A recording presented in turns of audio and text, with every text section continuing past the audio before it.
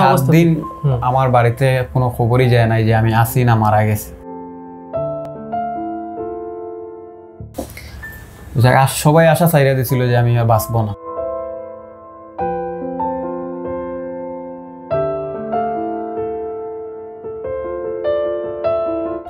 তো আমি কোথেকে বাঁচছি একমাত্র আল্লাহ ভালো জানে। এই তো মনে করেন আমি ড্রাইভিং গিয়েছিলাম। তো ফকলিপ দিয়ে গাড়ি থেকে মাল নামাইতেছি। তো এক পাশে একটা গর্ত ছিল ওই গর্তের মাঝে একটা চাকা পড়ে যায়। সামনে খেয়াল করেননি। জি না খেয়াল করি নাই।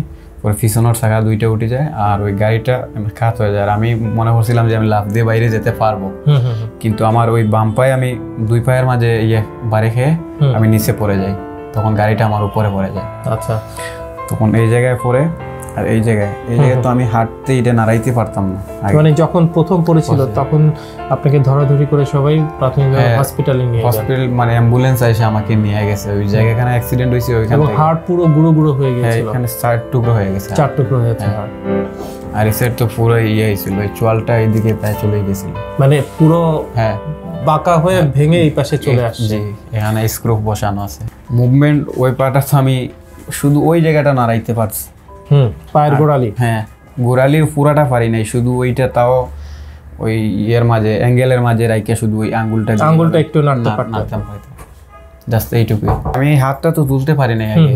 পনেরো দিন যে সময় আমি ভিডিও দেখি দেখার পরে স্যার এই এক্সারসাইজ দেখে যে ইউটিউবে যে এক্সারসাইজগুলো আছে ওইগুলো আমি দেখার পরে ওই হাতটা আস্তে আস্তে আমি পরে পনেরো দিন এক মাস পরে পুরো স্বাভাবিক হয়ে গেছে।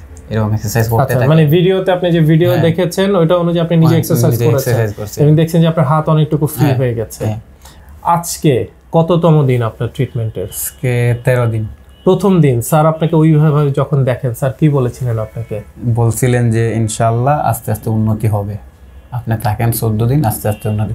তো প্রথম দিন থেরাপি দেওয়ার পর থেকেই আমি বিকালে হাঁটতে পারছি। আলহামদুলিল্লাহ। প্রথম দিন থেকেই আমি হাঁটতে পারছি। দুই তিন দিন পাঁচ দিন যাওয়ার পরে আমি সিঁড়ি দিয়ে হাঁটতে পারছি। এখন আমি। পুরোপুরি সিঁড়ি দিয়ে হাঁটতে পারি।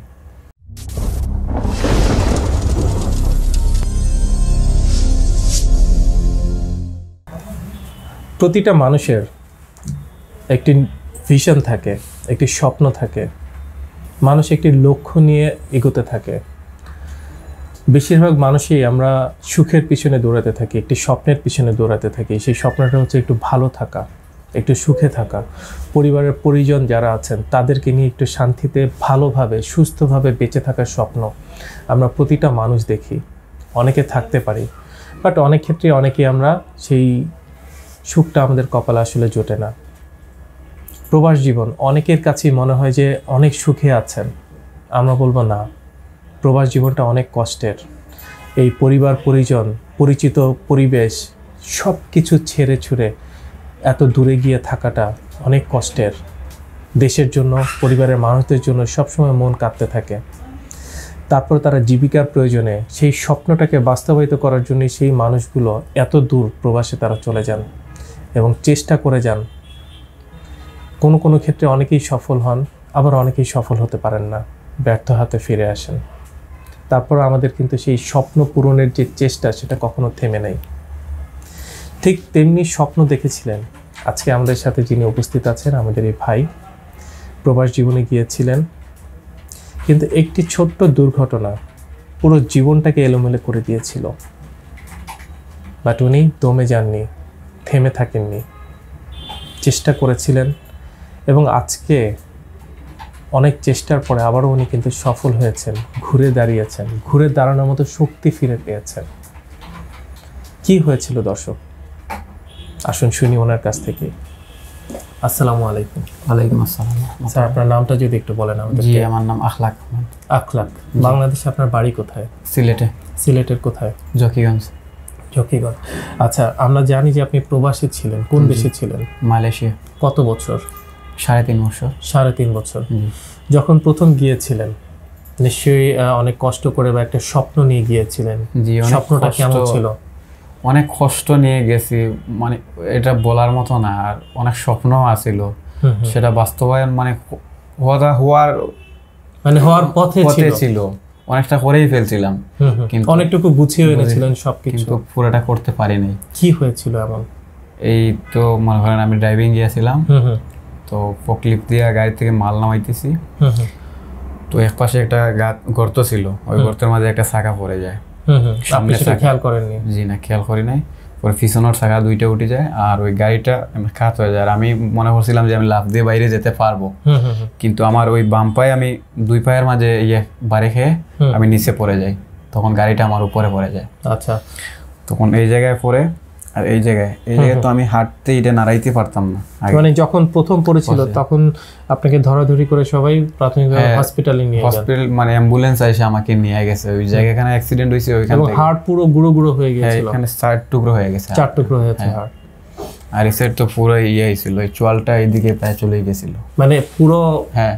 বাঁকা হয়ে ভেঙে এই পাশে চলে আসছে।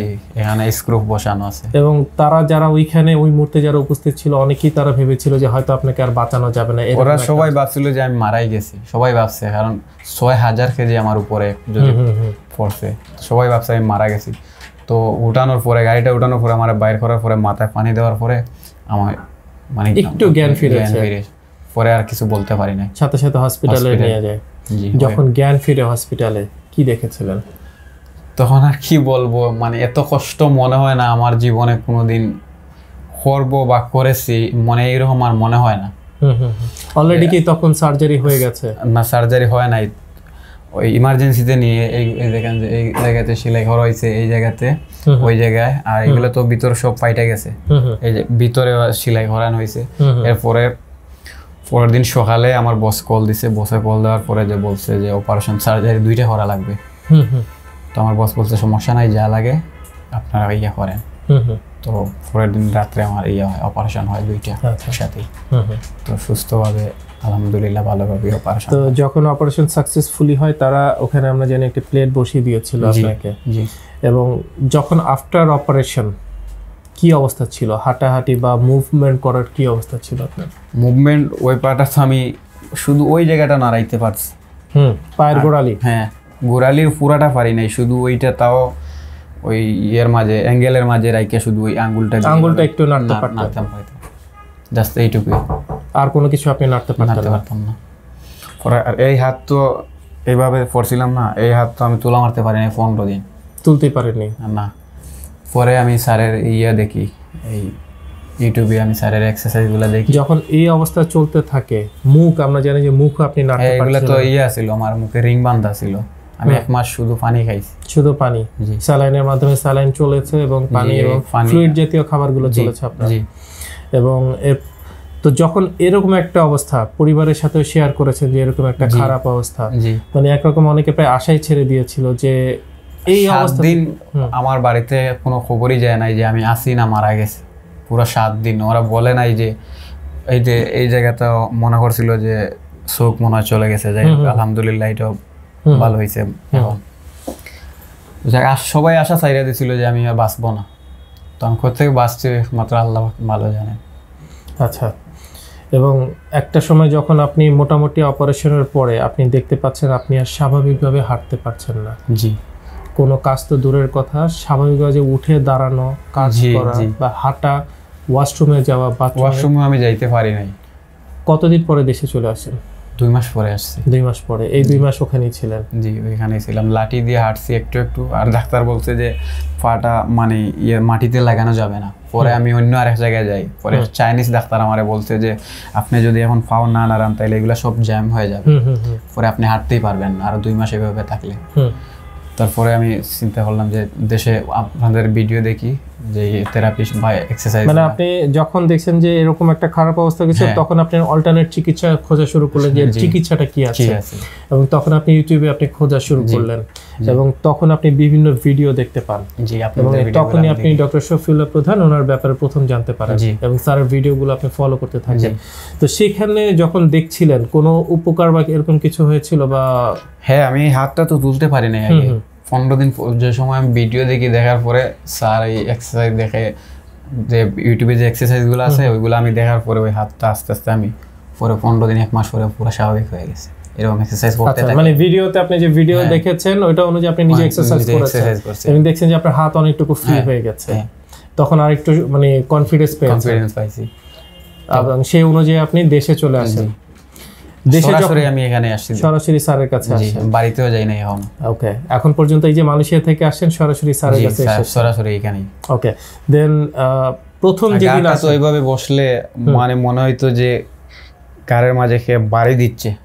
এরকমটা মনে হতো হইতো। এরকম বসলে আমি মানে উঠতে পারতাম না কার এইদিকে নাড়াইতে পারতাম না।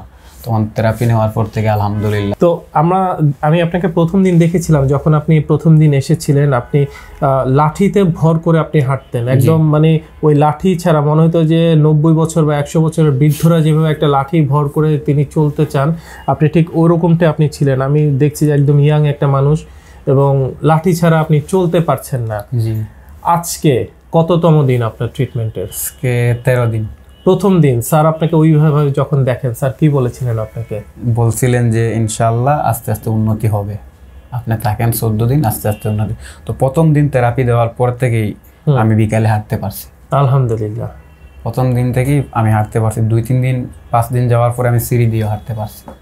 এখন আমি পুরোপুরি সিঁড়ি দিয়ে হাঁটতে পারি। তার মানে আপনি যে এত দূর থেকে এত কষ্ট করে একটা সময় জীবনের মায়া প্রায় ছেড়েই দিয়েছিলেন। জি আমি আশা ছেড়েই দিয়েছিলাম যে আমি মনে হয় আর স্বাভাবিক জীবনে ফিরে আসতে পারবেন না। সেই মানুষে যখন সিঁড়ি দিয়ে হাঁটছেন স্বাভাবিক সব কাজ করছেন কেমন লাগছে জি আলহামদুলিল্লাহ অনেক মানে এটাকে আসলে আমরা বলতে পারি একটা নতুন জীবন নতুন জীবন। ফিরে পাইছি একটা নতুন জীবন নতুন করে আসলে জন্ম হয় একটা মানুষের যে নতুন আর একটা জীবনে চলে আসা। তো যে অবস্থা ছিল আপনি কখনো ভাবেননি যে আপনি কাজ করে খাবেন? এখন কি মনে আমার পুরা কনফিডেন্স আছে আমি আগের মতো গিয়ে এখনও মালয়েশিয়া কাজ করতে পারব। এই কনফিডেন্সটা আমার ভিতরে এখনও আছে। আলহামদুলিল্লাহ। আপনি যখন ভর্তি ছিলেন আপনার আশপাশে তো এরকম আরও অনেক পেশেন্ট ছিল। জি আমি ওনাদের ভিডিও দেখতাম তাদেরকে কেমন দেখেছেন? তাদেরকে কেমন দেখেছেন? যারা আপনার আশপাশে ভর্তি ছিল তারা কেমন সুস্থ হয়েছেন? কেমন দেখেছেন? আলহামদুলিল্লাহ ভালো। তার মানে এই যে আপনি যে এসেছেন আপনার ডিসিশনটা সঠিক ছিল? জি সঠিক ছিল। আপনার কি মনে হচ্ছে যে এই যে যে আপনি সঠিক সময় সঠিক ট্রিটমেন্টটা করেছেন বলে আজকে আপনি খুব দ্রুত সময়ের ভিতরে সুস্থ হয়ে জি গেছেন অবশ্যই। যদি আরও দেরি করে ফেলতেন আরও অনেক বেশি অনেক লস হয়ে যেত। জি অবশ্যই অবশ্যই আমি জানি। এর এই জন্যই আমি তাড়াতাড়ি আমি বাড়িতে না গিয়ে সরাসরি এখানে আসছি। অসংখ্য দর্শক আছেন এই মুহূর্তে আপনার দিকে চেয়ে আছেন। তারাও আপনার মতো হয়তো এই এইরকম সমস্যা অনেকেই আছেন। তাদের জন্য যদি এইরকম কথা আমিও শুনছি আপনার শুনে আমারও মানে আমি কাঁদতাম। তখন বলতাম আমি কখন যাইতে পারব আর কখন আমি ভালো হব? আমি আপনার এগুলো দেখছি অনেক দেখছি আপনার ইন্টারভিউ এবং সেই ইনফরমেশনটা আজকে আপনার জীবনে কাজে লেগেছে। জি। দর্শকদের জন্য যদি কিছু বলেন। জি আলহামদুলিল্লাহ আমি ভালো আছি। এখানে ডিপিআরসি হসপিটাল ডায়াগনিক লিমিটেডের চিকিৎসা নিয়ে আপনারা সবাই আসবেন। ইনশাল্লাহ আপনারা সুস্থ হবেন। দর্শক ভালো থাকেন আসসালামু আলাইকুম। শুনলেন আমার এই ভাইয়ের কথা। দেখুন প্রবাস জীবনে কত কষ্টই না আমরা করি। পরিবারের মুখে হাসি ফুটিয়ে তোলার জন্য। এই তুলতে গিয়ে দেখা যায় বিভিন্ন অ্যাক্সিডেন্ট থেকে শুরু করে পুরো আমরা জীবনের কতটুকু আমরা রিস্ক নিয়ে নিই। একটা সময় ছিল, সবাই ভেবেছিল প্রায় ডিজেবল হয়ে গেছেন, ওনাকে দিয়ে আর কখনো কিছু করা সম্ভব না। কে বলেছে, দর্শক? প্রকৃষ্ট উদাহরণ আপনার সামনে বসে আছে। ওনার কথা শুনতে গিয়ে আসলে আমি কিছুটা আবেগে আপ্লুত হয়ে গেছে, আমারও চোখে কিছুটা পানি চলে এসেছে। আমার কত ভাই বোন, এরকম প্রবাসী থেকে এই ধরনের কষ্টগুলো করছেন বছর পর বছর। বাট ওনার সবচেয়ে ভালো জিনিসটা হচ্ছে যে উনি সঠিক সময় সঠিক পদক্ষেপটা নিতে পেরেছেন। শুধুমাত্র ওনার জানা ছিল বলে। এই যে একটা ছোট্ট ইনফরমেশন যে আমি কোথায় যেতে হবে, আমি কোথায় গেলে আমার এই সঠিক ট্রিটমেন্টটা পাবো, শুধু জানা ছিল বলে আজকে কত দ্রুত সময়ের ভিতরে উনি আজকে সুস্থ হয়ে গেছেন। প্রথম দিন যখন আমি দেখেছিলাম, লাঠি ছাড়া উনি কোথাও পা দিতে পারছেন না, একটু একটু একটু করে উনি হাঁটছিলেন। সাপোর্ট নিয়ে তাও। সেই মানুষটা আজকে সিঁড়িতে ওঠানামা করছেন, হাঁটাহাঁটি করছেন, সব কাজ উনি করতে পারছেন। এবং উনি আবারও প্রবাস জীবনে ফিরে যাবেন, ওনার সেই আগের কাছে এইটুকু কনফিডেন্স চলে এসছে ওনার ভিতরে। আর কি চাই দর্শক? এরপরও কি আপনাদের ঘুম ভাঙবে না? তারপরেও আপনারা বলবেন, আমাদের দেশে চিকিৎসা নাই, আমাদের দেশে উন্নত মানের চিকিৎসা নাই, আমাদেরকে ছোটোখাটো সমস্যার জন্য এখন আমাদের বিদেশ যেতে হবে? না দর্শক আমাদেরকে আর বিদেশ যাওয়ার দরকার নেই। আমাদের দেশে এই ধরনের উন্নত চিকিৎসা হচ্ছে। শুধুমাত্র সঠিক সময় সঠিক জ্ঞান এবং সঠিক ইনফরমেশন এবং সঠিক ট্রিটমেন্টটা যদি আমরা পাই আমার এই ভাইয়ের মতো আপনারাও সুস্থ হয়ে উঠবেন। ভালো থাকবেন সুস্থ থাকবেন আমাদের সঙ্গে থাকবেন এবং আমাদেরকে দেখতে থাকুন। ধন্যবাদ আপনাদের সকলকে। আসসালামু আলাইকুম। আপনাকে অসংখ্য অসংখ্য ধন্যবাদ এবং আশা করি সারা জীবন যাতে আপনি এমনটাই থাকেন। আসসালামু আলাইকুম। ওয়ালাইকুম আসসালাম। আসসালামু আলাইকুম।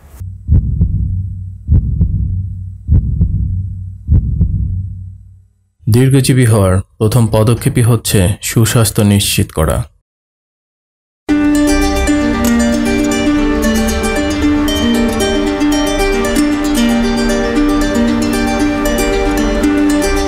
দেহ ও মন ভালো থাকলেই ভালো থাকে স্বাস্থ্য।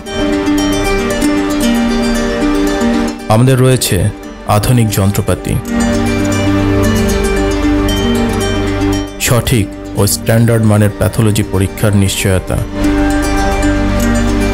আমরা রোগীদের প্রতি খুবই যত্নশীল ও আন্তরিক।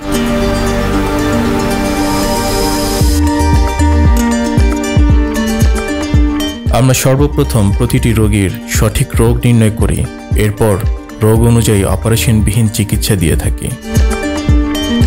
আমাদের প্রতিটি ডক্টর, নার্স ও থেরাপিস্ট প্রশিক্ষণপ্রাপ্ত ও দক্ষ। আমরা প্যারালাইসিস রোগীদের নতুন করে চলতে শিখাই।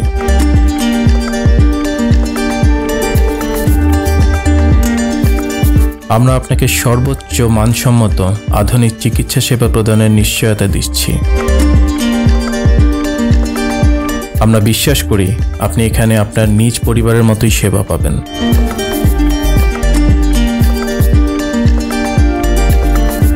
বাত ব্যথা প্যারালাইসিস ও আর্থ্রাইটিসের একটি নির্ভরযোগ্য প্রতিষ্ঠান। আমরা চাই না আপনারা বারবার আমাদের কাছে ফিরে আসুন তবুও আমরা আছি সবসময় সর্বদা আপনাদের পাশে TPRC hospital and diagnostic lab limited. আস্থা বিশ্বাস ও নির্ভরতায় অবিচল।